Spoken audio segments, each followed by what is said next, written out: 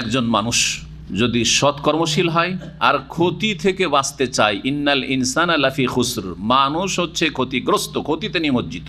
ক্ষতি থেকে যদি রক্ষা পেতে হয় ইহকাল পরকালের, তাহলে নিজেও ইমান এবং আমল সলে ভালো কাজ করতে হবে ইমানের সাথে, আর অন্যকেও অথবা সবিল ভালো কাজের উপদেশ দিতে হবে, অন্যায় কাজে বাধা দিতে হবে। যে মানুষ সবসময় আল্লাহর সাহায্যের মুখাপেক্ষী। আল্লাহর কাছে সাহায্য চাইলে ধৈর্যের সাথে চাইতে হবে। হ্যাঁ তড়িতে এক্ষণি আমার প্রয়োজন। হয় না কেন দোয়া কবুল, পাই না কেন আমি? যারা এই মন মানসিকতা রাখে, এইরকম অধৈর্য তাদের দোয়া কবুল হয় না। ইউস্তাজাবলিল আবদে মালাম ইয়াজল। নবী করিম সাসা বলছেন, বান্দার দোয়া কবুল হয় যতক্ষণ পর্যন্ত তাড়াহুড়া না করে। তাড়াহুড়া করলে পাওয়া যায় না। সময়ের আগে কোনো কিছু কেউ হাসিল করার চেষ্টা করলে তাকে বঞ্চিত করা হয়। এটা একটা নীতিমালা। মানতা তাজ্জালা বেশাই ইন কাবলা আওয়ানিহি ও কেবা বেহেরমানিহি। কেউ যদি কোনো কিছু পাওয়ার জন্য তাড়াহুড়া করে, সময়ের আগে আমি নেব, তাহলে তাকে বঞ্চিত করে পানিশমেন্ট করা হয়, শাস্তি দেওয়া হয়। ছেলে মানুষ করছেন, আর আঠারো বছর বয়সেই ফল খাবে, দেখো। দিলেন বিদেশ পাঠিয়ে। করছেন না করছেন না অনেকে? হ্যাঁ সময়ের আগে আপনি ফল খাওয়ার চেষ্টা করলেন। একটা দুনিয়ার উদাহরণ দিচ্ছি। প্রত্যেকটি ক্ষেত্রে আপনি এই উদাহরণ ফিট করতে পারবেন। তাড়াতাড়ি করে ফল খেতে চাইছেন, আর কত আমি খেটে খাব, আর কত আমি কাজ করব, একা একা টাকা পয়সা নিয়ে আসুক ছেলেমেয়েরা। ছেলেরা টাকা নিয়ে আসুক। মেয়েদেরকে আল্লাহ টাকা পয়সা ইনকাম করার জন্য পয়দা করেননি কিন্তু। সুতরাং কখনো এই কথা যেন মগজে না আসে কোনো মুসলিমের। জি, এই সংশোধন জরুরি মুসলিমদের। মুস- মেয়েদেরকে আল্লাহ পয়দাই করেন টাকা পয়সা ইনকাম করার জন্য। জি। এখন তাড়াহুড়া করে আঠারো বছর বয়সে পাসপোর্ট করে ভিসা করে দিলেন বিদেশ পাঠে আমি বিদেশে আমার ছেলেকে নিয়ে চলেছি বয়স কত? আঠারো বছর। হ্যাঁ বাইশ বছর করে নিয়ে আসেন জালিয়াতি করে।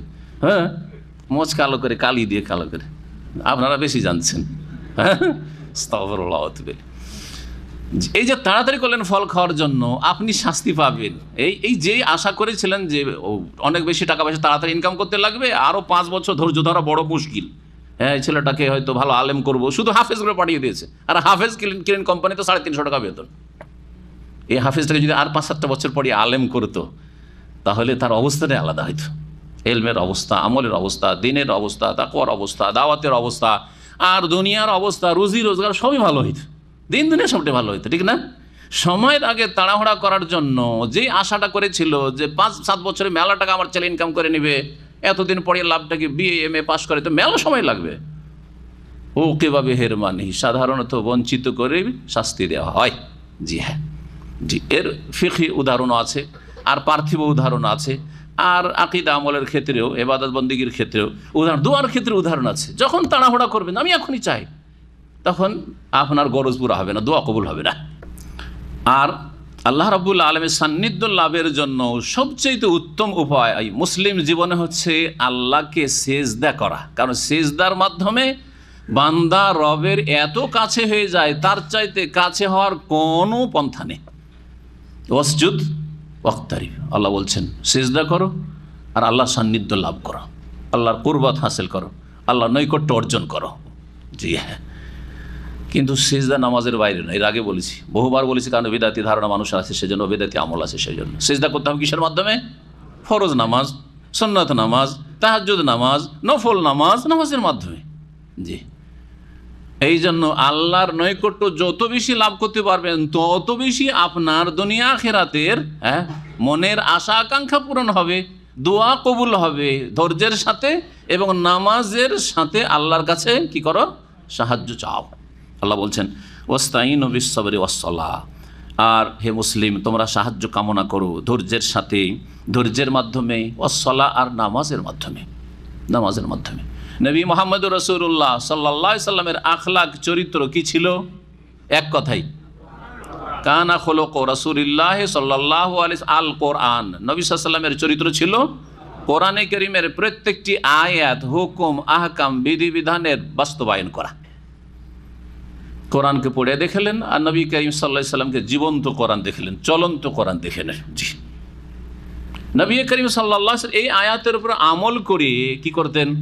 কানা ইজা হাজাবাহু আমরন, নবী সাল হাদিসে রয়েছে, সাহবারা বলছেন, নবী সাল্লামের সামনে যখন কোনো সমস্যা দেখা দিত, কোনো কিছু, যে কোনো সমস্যা হোক না কেন, নিজের ব্যক্তিগত সমস্যা, পারিবারিক হ্যাঁ তারপরে ওম্মতে মুসলিমার কাফেরদের পক্ষ থেকে ভীতি প্রদর্শন, ইত্যাদি ইত্যাদি, যে কোনো টেনশন, যে কোনো বিপদ, আপদ, কোনো কিছু আসত, কোনো কিছু প্রয়োজন, ফাজা এলা সালাতে, শুধু নামাজ পড়তেন না, ফাজা এলা সালাতে ঝাঁপিয়ে আসতেন নামাজের দিকে। নামাজের দিকে ঝাঁপিয়ে আসতেন, নামাজের মাধ্যমে আল্লাহর কাছে সাহায্য চাইতেন। আর এখন যদি কাউকে দোয়া করতে বলা হয়, যে কোনো মুসলিম উম্মার সমস্যার জন্য জটিলতাকে হল করার জন্য, তো অনেকে এটাকে একেবারে তুচ্ছ মনে করে। ও কিছু করতে পারবে না সেজন্য দোয়া। আউজবিল্লাহিমের শৈতান কীভাবে শয়তান গ্রাস করেছে যে যারা কিছু করতে পারে না, আমরা অনেক কিছু করতে পারি, সেজন্য আমাদের দোয়ার দরকার নেই। কি করতে পারে ওই রাস্তাঘাটে? বিক্ষোভ আর মিছিল, যা ইয়াহুদি নাসারার শিখিয়েছে, তাদের আদর্শ হয়ে, বিশ্বাসী হয়ে, তাদের পেছনে পেছনে হয়ে হয়ে করে ছোটা। এছাড়া আর কিছু করতে পারে না। কিন্তু মনে করে যে আমরা অনেক কিছুই করতে পারলাম। ধৈর্যের সাথে আর নামাজের সাথে সাহায্য কামনা করো। সাহায্য, আল্লাহ রবের তলব করা এত গুরুত্বপূর্ণ বিষয় যে সুরাতুল ফাতিহাতে আল্লাহ শিখিয়েছেন। যেই সুরা প্রত্যেক রাকাতে নামাজের ফরজ হোক সুন্নত হোক, নফল হোক, প্রত্যেক রাকাতে পড়া বাধ্যতামূলক ফরজ। কিতাব, যেই ব্যক্তি প্রত্যেক রাকাতে নামাজে সূরা ফাতিহা না পড়বে, ইয়াকা নাবুদু ওয়া ইয়াকা নাস্তাইন না বলবে, তার নামাজই হয় না। যতক্ষণ আল্লাহর এবাদতের অঙ্গীকার না করবেন, আল্লাহর কাছে সাহায্য কামনা না করবেন, সুরা ফাতিহা পড়া মানে আয়াত পড়তে হবে, আল্লাহ তোমারই এবাদত করি আর তোমার কাছেই সাহায্য কামনা করি। এই সুরা, এই আয়াত যতক্ষণ না পড়বে, নামাজ কবুল হয় না। কত গুরুত্বপূর্ণ তার আল্লাহর কাছে সাহায্য কামনা করা। আর আল্লাহর কাছে সাহায্য চাওয়াই হচ্ছে দোয়া। এই যা স্থান তাফাস্তাইন বিল্লাহ। যখনই সাহায্য চাইতে হবে, মানুষের কাছে সাহায্য না চাই আল্লাহর কাছে চাও। একটুতি যার তার কাছে চাওয়া শুরু করছেন আপনি আল্লাহর কাছে চাইতে অভ্যস্ত হন। ওয়া ইন্নাহালা কাবীরাহ তবে বিষয়টি বড় কঠিন। তবে ধৈর্য ধারণ করা হ্যাঁ আর নামাজের মাধ্যমে আল্লাহর কাছে চাওয়া এটি বড়ই কঠিন লাগে। নামাজ কায়েম করা ফরজ নামাজ। ফরজ নামাজই কায়েম করে না সন্ন্যত না বলতে আজ যদি কি উঠবে? আল্লাহর সাথে নির্জনে কি হ্যাঁ, গোপন আলাপ করবে? ওয়া ইন্নাহালা কবিরাতুন এই নামাজ বিশেষ করে নামাজের বিষয়টি, কারণ নামাজ, সলাৎ কাছে উল্লেখিত হয়েছে। আর সেটি মোয়ান্নাস আর ইন্নাহা হাজামির হচ্ছে মোয়ান্নাস। এই নামাজ বড়ই মুশকিল, কঠিন। যদিও নামাজ পড়তে এক পয়সা লাগে না, তারপরেও জাকাতের চাইতে কঠিন লাগে, সাদকা করার চাইতে কঠিন লাগে। মসজিদ বানিয়ে দেয় বেনামাজি, মাদ্রাসা বানিয়ে দেয় বেনামাজি হ্যাঁ? গরিব মিসকিনের দেখাশোনা করে, খরচ খরচা করে বেনামাজি, বাপ মাকে সব টাকা পাঠিয়ে দিচ্ছে বেনামাজি, খুব খরচ করতে পারছে। নামাজে একটা পয়সাও লাগে না, তারপর ওয়াইন নাহালা কবিরা সৃষ্টিকর্তা রব্বুল আলমিন ভালো করে জানে মানুষের বদ স্বভাব যে নামাজটা বড়ই কঠিন নিশ্চিত। ইল্লা আলাল খাসেইন তবে যারা বিনয়ী, বিনীত, তাদের জন্য নামাজ কোনো কঠিন না। বা নামাজ পড়লেই তাদের মনের শান্তি হয়, দিনের শান্তি হয়, দুনিয়ার শান্তি হয়, শারীরিক শান্তি মিলে, মানসিক শান্তি মিলে, অন্তরের শান্তি মিলে। আর এহে নবী সাল্লাহ নবী মোহাম্মদ রসুল্লাহ সাল্লাম, আপনার নবী, আপনার রসুল, যার শান্তি হইতো নামাজে, জি।